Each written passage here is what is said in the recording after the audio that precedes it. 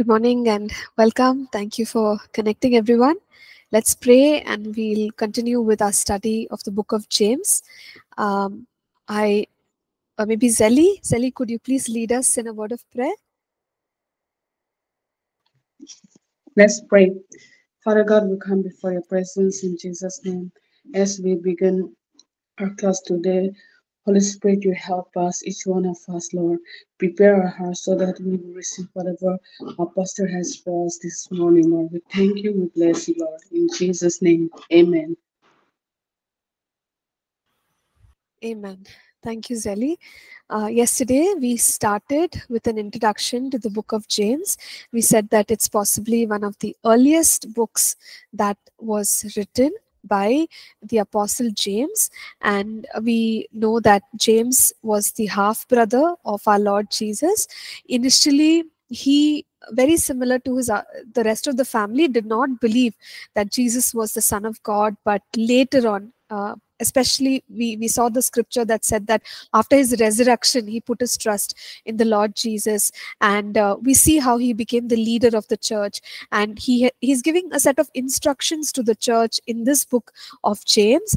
Uh, at the time when james wrote this the early church was going through challenges difficulties uh, especially of the rich jews overbearing being overbearing on the christian Jews, and so he is encouraging them. He's speaking about you know different different things that will help them, and also uh, instructing them regarding the right attitude that they need to maintain uh, regarding various matters. So we began with his introduction of himself, where he calls himself as a bond servant of God and of the Lord Jesus Christ. So then we said how his life had been transformed and his understanding of the relationship that he had with Jesus had been transformed. He looked at Jesus as the Christ. He calls Jesus the Christ. So uh, that is very beautiful.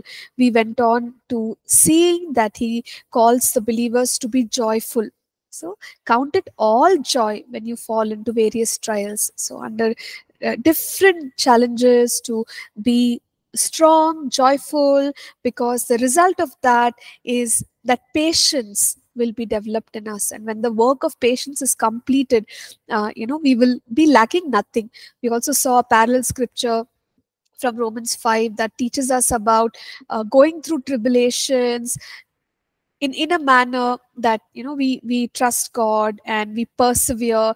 Perseverance then would lead to character and character to hope. And this is necessary in the life of believers because it's the sign of maturing. It's the sign of uh, becoming those well able believers. We saw that uh, analogy of the diamond how under pressure it becomes carbon becomes something so beautiful. The same way we as believers also when we go through our difficulties with the right attitude uh, god's character will be uh, formed in us. And then we saw how he invites the believers to have ask for wisdom because that is what we need in our time of difficulty. We need god's wisdom and we need his solutions. So we can seek god for it and we've seen how god gives abundant wisdom when we ask with faith.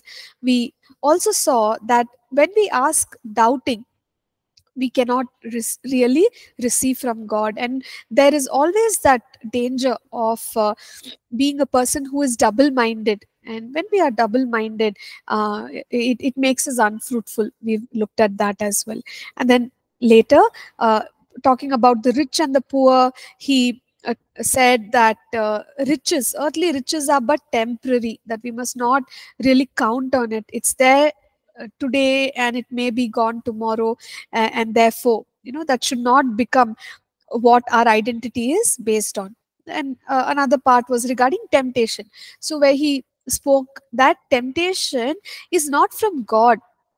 God is not the author of temptation, and God also uh, is isn't tempted okay god cannot be tempted by evil is what he states. Uh, so where does temptation originate? It originates from the evil one the enemy. And we also saw while that is an external influence we through our own fleshly desires can also fall into temptation. So it's both external and internal because of our flesh. So we have to overcome that and uh, not let a progression happen. We saw right? Like desire then when the desire is conceived meaning we we've come to a place where we really want that evil thing then we step in and try to do those things. So then sin is birthed out of that. And when sin is full grown we saw that death uh, becomes the consequence. Uh, and therefore we should not go down that path of desiring what is evil, then giving birth to sin, and then that sin actually leading to death. Uh, uh, instead, we said that we must depend on God, and from God, instead of temptation, good things come. So, verse 17 it states that every good and perfect gift is from above. So, temptation is not from God, good things are from God, uh, and you know, uh, he is also the father of lights, revealing to us a little bit about his character and how he dwells. And he is not a God who will change his mind. So we can truly depend on him. That is as much as we had seen yesterday. Now we will continue. We can start from verse 18. We've already read that uh, section, so I'll just try and explain it to us. Um, so we are told here that uh, um, we've been brought forth by the word of truth that we might be the kind of first fruits of his creatures. So when he's saying we he's referring to that early set of believers. And he is letting them know that the new life that they have they were born again by the word. We understand that there is a work of the word and the work of the spirit in someone being born again. So that's the emphasis now. He's letting the believers know we were born again because of the word, the word of truth, which was preached to them. And he calls that set of uh, uh, believers as the first fruits. Why? Because obviously they're the early church. Now, after the early church, we know many different churches were planted, and uh, through uh, the passage of history, lots of believers um, have uh, inhabited the earth and they've lived for God, and it's continuing now. But it began with whom? Began with those apostles and the believers who were part of the Church of Jerusalem, you know, and and that uh, early set or the early congregation. So that's why he's terming them as first fruits of his creatures. Then he goes on to um, talk about the importance of being swift to hear. Or, in other words, he is calling the believer to be, uh, you know, mindful of the instructions of God, to be mindful uh, and eager to learn instead of you know just just being very rushed and doing whatever they want in the section that follows he is talking about hearing the word and also doing the word. So let me just read it out for us. I'm going to read from verse 22 where it says, But be doers of the word and not hearers only, deceiving yourselves. For if anyone is a hearer of the word and not a doer, he is like a man observing his natural face in a mirror, for he observes himself, this verse 24, goes away and immediately forgets what kind of man he was. But he who looks into the perfect law of liberty and continues in it is not a forgetful hearer, but a doer of the work. This one will be blessed in what he does. So, the point he's making here is we said earlier that the theme of faith is part of the book of James. So, here, while faith is necessary and uh, word is important, James is telling us that obedience is equally important. Being a doer of the word that we hear. So he began by saying, Be slow to speak, but be quick to listen. So we, uh, uh, the point is, listen to the word, understand the word, be obedient to the word. So when we are doing, hearing the word and doing, then there is the balance, the right kind of a balance. But if that is not the case, okay, he says something like, we are deceiving ourselves verse 22, end of that verse, he says, anyone who's just listening to the word and not applying it is doing what?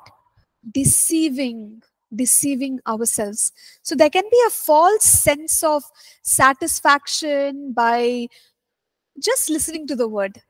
But then uh, life can be so different or so far away from actually what the word says and that is a place of deception. And the believers ought to be careful about that.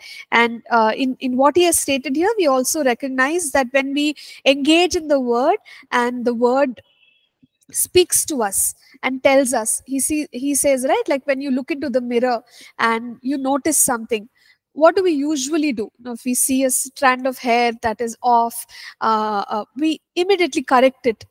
And that's similar when it comes to the word. When we engage in the word the word begins to speak to our hearts and the conviction of the holy spirit comes to us in areas where we need to change. Uh, and if we don't take action that again falls in the category of deception. And one should not do that. Be hearers of the word but be doers also. And don't be forgetful hearers is what he is encouraging the believers uh, about. Now, moving on, the next section here, he's talking about true religion. What is um, what what is the right kind of religion?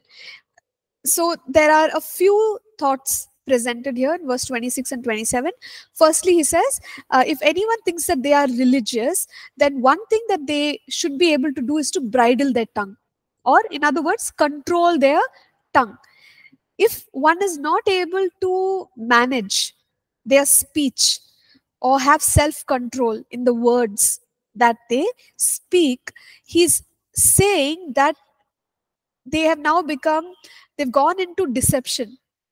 And uh, their religion is useless. So uh, if we recall you know uh, galatians 5 we talk about the fruit of the spirit if truly we are walking with the lord and the holy spirit is is uh, helping us develop his fruit there will be self control so that's the point here.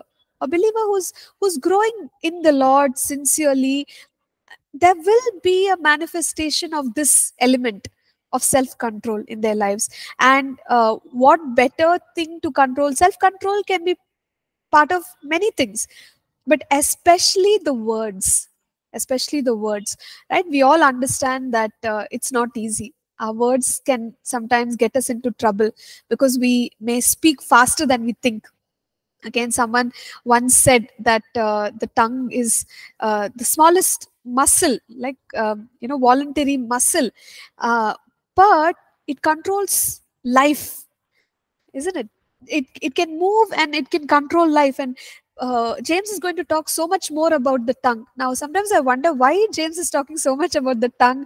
Were there things that were going on in the church where you know people were speaking um, unbelief and people were speaking against the word of god possibly and uh, he he wanted to instruct them to use their word words righteously and uh, use the words wisely okay so if one cannot do that if the tongue cannot be controlled if the words cannot be controlled he's even saying that their religion is useless so can you imagine? That's quite a strong statement that he's making. Then apart from that, he is stating two more aspects. He says, this is pure and undefiled religion. What? Two things. He says, visit orphans and widows in their trouble. And that just shows us that having a heart of compassion for those who are in need and widows and orphans come in that category.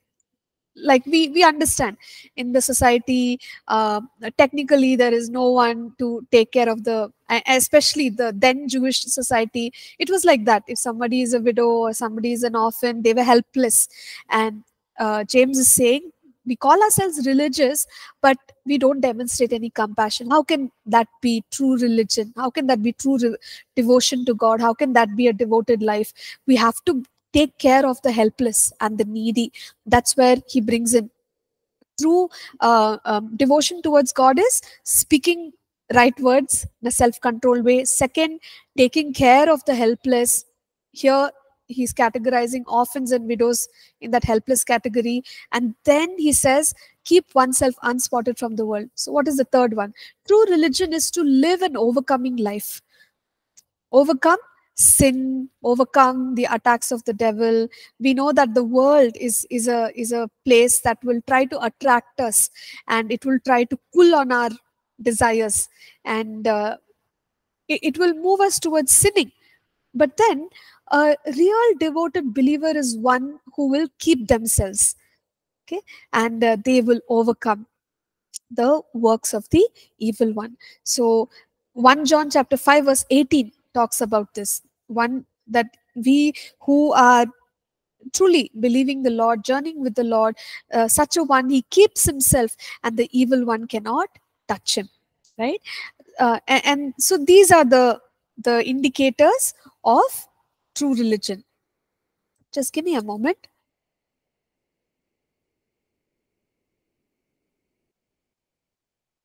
Yeah 1 john 5 18 that's the correct reference. So you could look it up if you want to. Yes so we've understood. So uh, religion being religious or uh, piety is another word that is used. Uh, being pious true piety is not assuming piety but it is demonstrated by our life and actions so on the basis of what we do how we speak you know, how we conduct ourselves we can affirm that we are pious towards God. And that's what James is calling us to. Now, in um, the chapter so far, we came across uh, James warning us regarding deception. Right? Don't deceive yourselves. Don't deceive yourselves. So, a little bit about uh, deception. If we quickly go back, we'll look at a couple of scriptures. I'll read it out for us from here.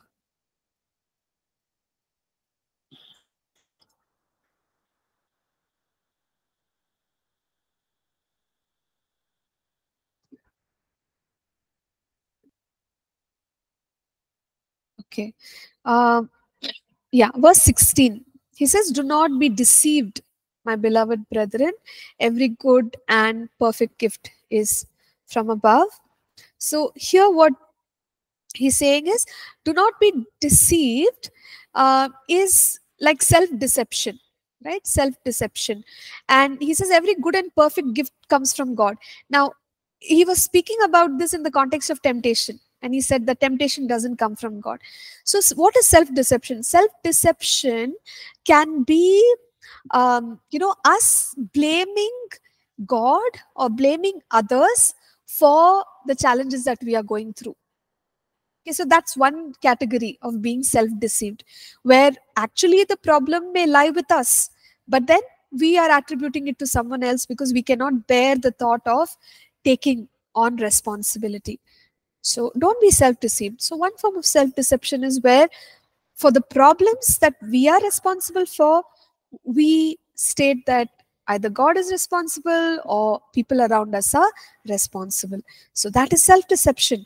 Now, let's look at verse um, 22 here where again he says, But be doers of the word and not hearers only, deceiving yourselves.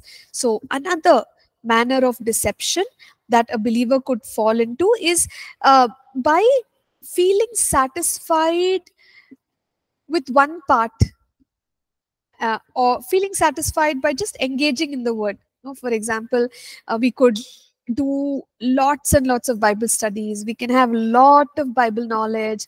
Uh, we we which is awesome which is wonderful. And it, we are supposed to we are supposed to be uh, you know very consciously engaging in these things. But as James stated, be doers of the word, not hearers only. So, this first part of hearing the word must lead to the second part of doing the word. Now, if a believer is not doing the word, then he says deception. Second, self deception, where we are convincing ourselves that because we are hearing the word so much, uh, that hey you know I, i'm i'm good. Uh, i'm already pious. I'm already um, having this walk with the lord. But then obedience to the word is lacking right? That's quite problematic where one has convinced themselves that uh, my walk with the lord is right. Uh, yes lyndon?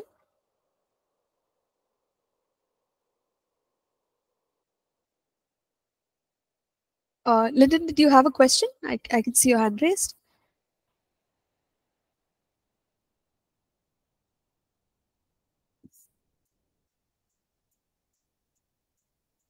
okay uh not able to hear.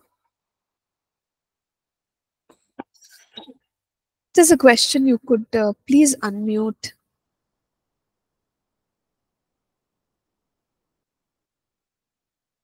All right not sure if lyndon can hear us. I'll keep moving on and if there's anything please to stop me. Let's continue. So that's the second form of self-deception isn't it where uh, we're saying that uh, we are satisfied only by listening to the word. Now the third one.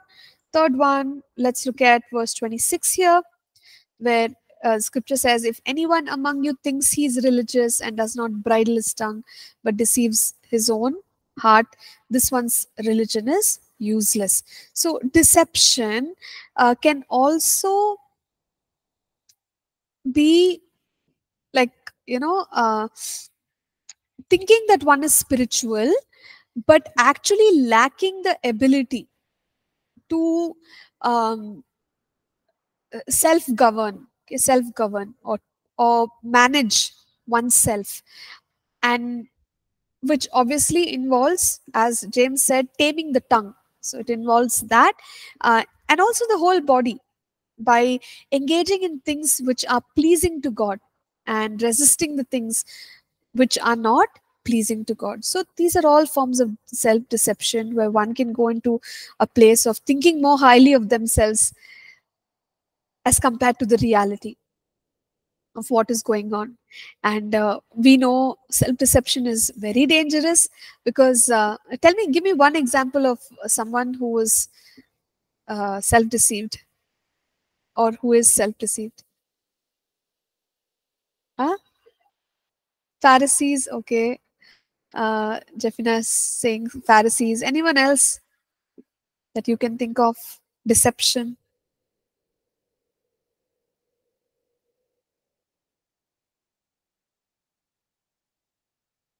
How about satan? You know i i i will become like this and i will go uh, higher than god. Uh, i will be seated on the throne. Deception. The reality is far from what they are believing and that is why it's so very dangerous. We're done with chapter 1 we could now move on to chapter 2 so let's go ahead and read the entire chapter and uh, i'll go ahead and explain it section by section.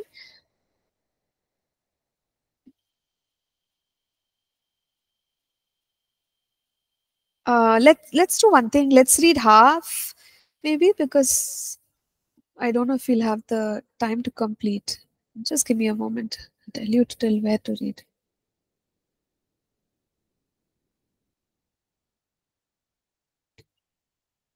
Till verse 13 we can read till 13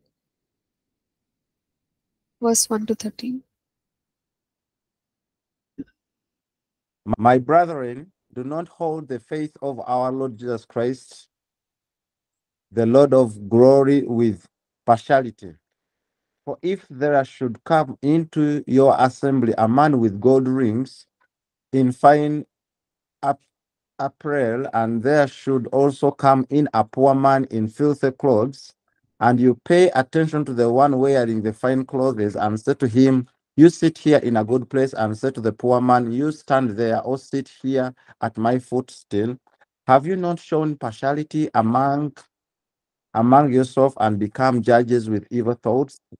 Listen, my bra- beloved brethren, has God not shown, has not has God not chosen the poor of this world to be rich in faith and heirs of the kingdom which has which he promised to those who love him?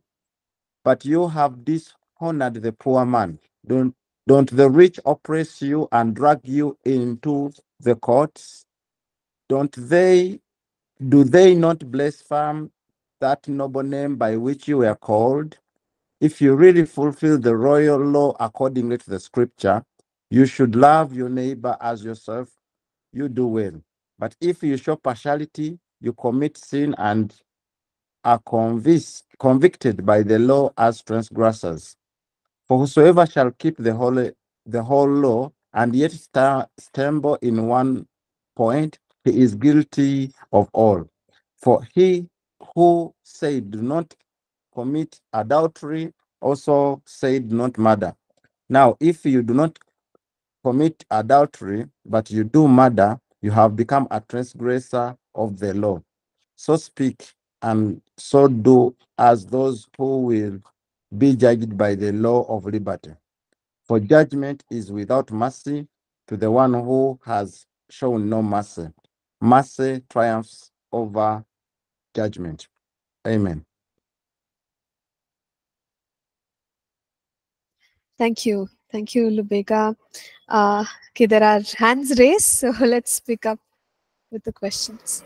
Yeah, I just want to ask before we jump into the next chapter. I think in James chapter 1 at last it says about the law of liberty. Um, trying to understand it in the context of the Old, Old Testament law, even though whites known as laws, the liberty would, would still be a question.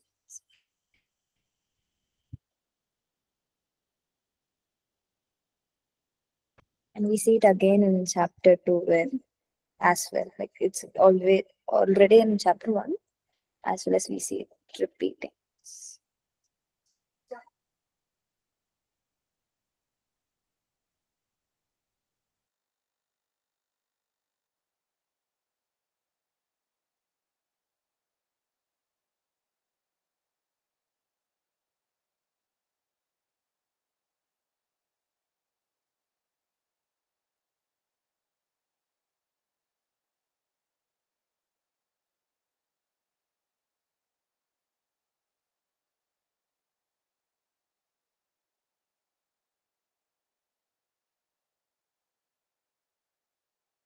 Thank you, uh, Jeffina, for that question. So, the law of liberty, um, our understanding would be the grace of God, the grace of Jesus. That's the law of liberty because that is what has set us free, isn't it?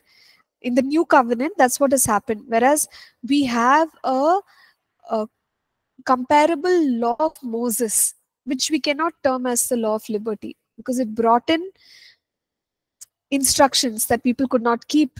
But now we have instructions that we are empowered to keep. So that is the law of liberty. It's the grace that has come through our Lord Jesus Christ.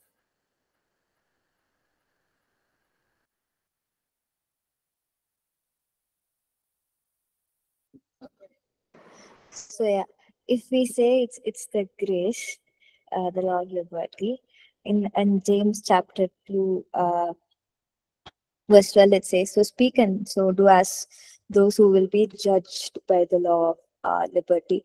So it's it just says that we are judged by grace. Should I should I term it in that way? Should I understand it in that way? Like Yeah. we, So, judged by the law of liberty means whether you have completely come, accepted that salvation or not, and if you're living out that life of salvation or not. Sure. Yeah. Thank you. Thank you for that question. Um, uh, did anyone else have something to ask?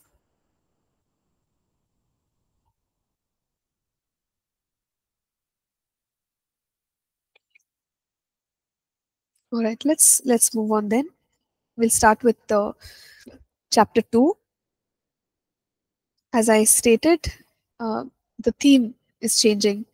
We spoke about do the word, and uh, now we've we've come to the place where we're talking about preferential treatment between or um, uh, among the congregation who are both rich and poor. So James is clearly telling us that there should be no such preferential treatment, or in other words, partiality. So, in verse 1, chapter 2, he says, Do not hold the faith of our Lord Jesus Christ, the Lord of glory, with partiality. So partiality should not be a part of our ministry. The example that he gives here is that of a rich person walking into our uh, gathering. Excuse me. And how do we know they are rich? Because he's describing a man with gold rings, fine apparel, and they should obviously it's somebody who's rich who can afford that kind of dressing. And in those days you know maybe that's how they dress. And they came into the the uh, gathering.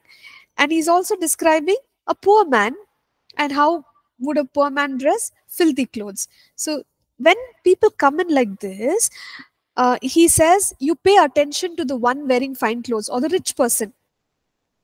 And you give him a good place to sit. Whereas the poor person we treat them badly. And over here he's saying you make them stand uh, or you know you make them uh, sit at my footstool or give them a, a like a, a bad place to sit at because we don't care where they, they sit. But is that a godly thing to do? When we do things like that he's asking us the question have you not shown partiality? Okay? And that is not acceptable by god. So this is a question that we have to ask ourselves. Um, uh, maybe in the time that james was ministering there was there were these demarcations in the society uh, where part of the same believing community you had rich people and poor people. And as leaders of that congregation when the poor are treated badly and the rich are given uh, more honor it does not bring glory to the name of our god. And james is trying to correct that. Uh, so now think about this. Is it wrong to give honor to some people? You know maybe a rich person comes in and they are uh, truly someone who has served the lord. And they have those credentials for us to honor them. That's not what we are talking about. Uh, and also uh, let's let's understand there's a difference between partiality and honor. So honoring is fine. We can honor god's people godly people um, but partiality is different where we are treating one set of people in a special way as compared to another set of people. So partiality is not acceptable. Favoritism is unfair, especially when it comes to the church setting, when it comes to the gathering of God's people. And we need to be careful about that.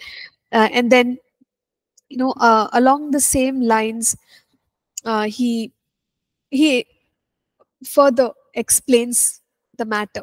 He says, when you treat the poor person badly, uh, you've dishonored that poor person. And then he's just helping the people understand that you know haven't there been incidents where even if somebody is rich they have been unrighteous? So he says something like in verse 6 do not the rich oppress you and drag you into the courts. So he's just explaining some incidents that have taken place. Now does this mean that when somebody is rich, uh, they are always evil or they do bad things. No, we wouldn't interpret it like that. He's just trying to make us understand that, you know, um, uh, we, we must not exercise prejudice. That's all. Obviously, we know anyone who is born again, whether we are rich or whether we are poor, we're all partakers of the divine call of God. We have the same inheritance. Uh, and having or not having earthly resources doesn't give us any particular standing in the kingdom of God. And so we have to settle that in our minds. Over here, he's just trying to make a point and say, in this context, when there is partiality, don't you think we are being unfair? Haven't you heard of incidents where even if people are rich, they have oppressed the poor people uh, and you know so just be careful. Don't practice partiality. And he says in verse 8 if you really fulfill the royal law according to the scripture what is the royal law? He's stating that royal law here. You shall love your neighbor as yourself. You do well. So we know uh, the, the laws that moses gave. But among those laws the lord jesus highlighted a couple and he said look, you need to love the Lord your God with all your heart. And then he followed that up by saying, you need to love your neighbor as yourself. And here James is calling those special laws as the royal law. Uh, and he says we must not show partiality. And verse 9 is very strong actually. Uh, it's as if it begins like a suggestion where he's saying, don't do this, it's not good, and you must consider the poor. But in verse 9, he categorically states that if one shows partiality, you commit sin. So, partiality is not a hey, I prefer this this set of people over that set of people. It's my preference. It's not a preference any longer. Partiality is now being classified as what? Sin. If you show partiality, you commit sin and are convicted by the law as transgressors. So quite strongly, he's he's rebuking, he is uh, clarifying to the people, and he's stating that partiality is not good and don't practice partiality. We move on to the next set of scriptures there, where he's talking about keeping the whole law. Okay, uh, and we understand here that when the law of Moses was given, right? What did God want? Did God want man to keep a couple of them and leave the rest out? No. God wanted man to keep all the laws that were given, right? So, uh, but we know that under the uh, law of Moses, the old covenant, we did not have the empowering Holy Spirit. Uh, we know that in the new covenant, the word of God is written in our hearts. So that empowerment was lacking. The law was there, but the empowerment was lacking. Uh, and uh, he's kind of referring to that.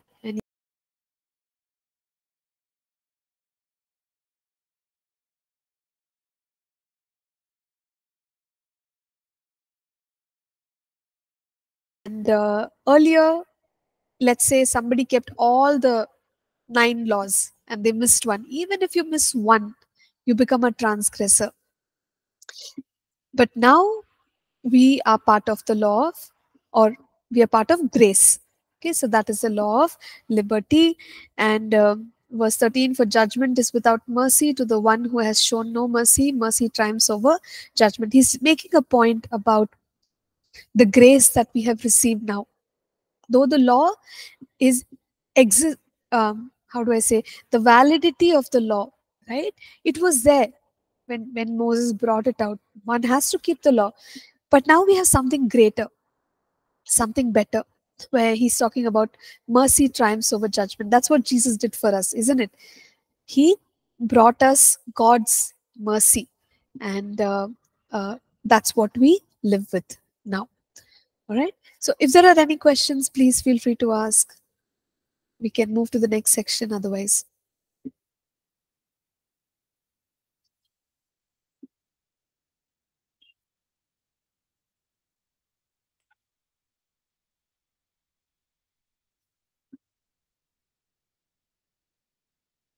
all right. So then let's uh, move on.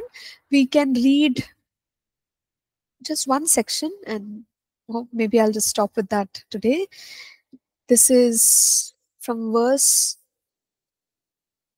14 to verse 19 yeah. Could could someone read it please Verse 14 What does it profit, my brethren, if someone says he has faith but does not have works? Can faith save him? If a brother or sister is naked and destitute of daily food, and one of you says to them, Depart in peace, be warmed and filled, but you do not give them the things which are needed for the body, what does it profit? Thus also faith by itself, if it does not have works, is dead. Should I continue, ma'am? Till which was uh, yes yes rosalind till 19 sorry, ma'am. But somehow, but someone will say, "You have faith, and I have works. Show me your faith without your works, and I will show you my faith by my works." You believe that there is one God. You do well. Even the demons believe and tremble. Amen. Amen. Thank you, Roslyn. Uh, so, again, he's coming back to the subject of faith here. And he lets us know that faith and the expression of faith through genuine good works is connected. They're not separate. So, he's asking two questions, quite startling questions. Um, uh, you know, he says, what does it profit my brethren if someone says he has faith but does not have works? So can you imagine a person like that? Only faith. No works. That's quite difficult for us to even think about. Because when we are saying there is faith there's got to be corresponding works. And uh, he asks another question. He says can faith save him? Right? Uh, while there are no works at all can one keep saying that yeah it's only on the on the basis of what i'm believing but i won't have any um, associated works with it. Can that alone save him? So he asks starts with these two questions right? But ultimately the essence of what we just read here is when we say we have faith we need to have uh, works that come out as an expression of that genuine faith. So he's giving an example of helping someone who is in need. It would be really sad to see that one can address a problem and we are seeing that people are in difficulty or they are in need, but then we are not doing anything about it, isn't it? So that way, if we are saying, okay, I'm just gonna pray and I will not do what I have the power to do in that situation. That is not real faith, right? And we're not showing it by the good works that we can do. So he comes in with a strong statement, verse 17. He says, Look, also faith by itself, if it does not have works, is dead. Very strong. He says, We cannot keep saying that we have faith and have no works associated with it. That kind of faith is even dead or it doesn't count. Such faith doesn't count. Uh, so ultimately, we need to have faith and also works. And he gives the example of demons. And he says, even demons believe. So that there is a God. So isn't that faith? Because they are believing. But what about the works that they do? They don't do any good works or they don't engage in living out that faith, isn't it? So then what's the difference? Even the demons believe that there is a God. So it's a strong reminder for us to have a life of faith with the genuine expression of that faith through good works. So whatever we say we have faith for, there's got to be uh, good works associated with that. So with that, we'll just stop for today and we can pick up from where we stopped in the next class. So if there's anything to discuss, we can do that. If not, we can pray and close.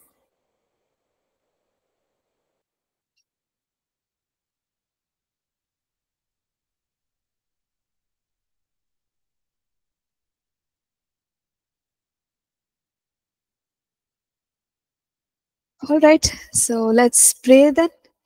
Uh, and would one of you unmute and pray?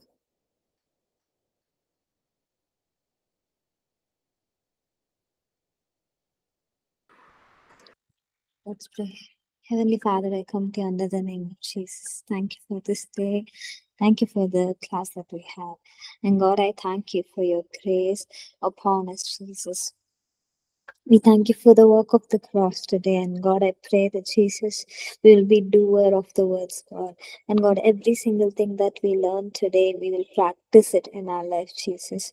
Because uh, there's nothing if we if we just hear the word but not do it. So God, you develop us, equip us in that way. Um, help us to be uh, people who ponder on your words day and night. Just look at you and just stand in awe of you and just uh, please you, be obedient to you, Jesus. Not just have faith, but also to obey your voice, to be sensitive to your uh, to the voice of the Holy Spirit. Build us in such a way, Jesus, so that we can uh, be a blessing. We can be the salt and the light, uh, things that transforms this world, uh, things that uh, people who bring people to your kingdom equip us in such a way jesus i thank you for pastor nancy i thank you for everyone in my class in jesus name i pray Amen. Amen. And thank you. Thank you, Jafina. Thank you, everyone. Um, God bless you and have a great week ahead.